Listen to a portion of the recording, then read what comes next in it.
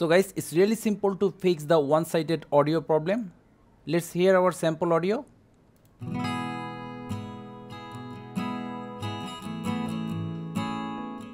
Now if we click on this button, on the right side we can able to see the label of our audio for right side and left side.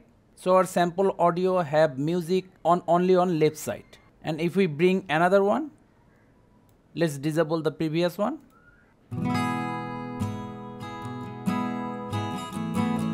As you can see that the left and right label is not equal.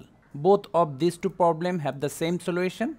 Select the audio layer, then go to audio, channel, check the channel, then click on the drop down. As our audio have music only on left side, so we will fill the right side with the audio from the left side. So fill right with left. Let's hear it again. See?